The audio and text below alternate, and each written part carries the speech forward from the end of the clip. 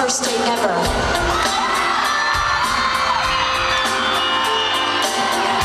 The best first date ever has nothing to do with where you go to dinner. And the best first date ever has nothing to do with if somebody brings you